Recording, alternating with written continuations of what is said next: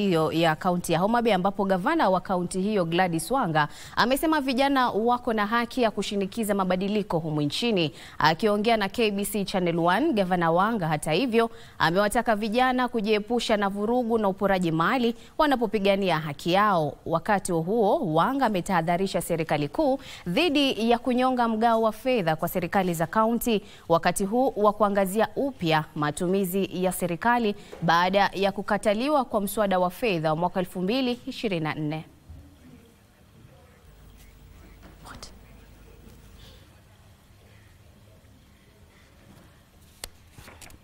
We have done this with our CIDP and our annual development plans, but I think it's a unique period to look again at what should we prioritize. We, you know, don't entertain corruption within the government, so that the little resources we have can go uh, a longer mile. We are not looking at having any any cuts from the county governments because we are already grossly underfunded. We were looking at 450 billion. We got 50 billion less. We have so many functions with so little money. So no money should be reduced from counties, if you ask me.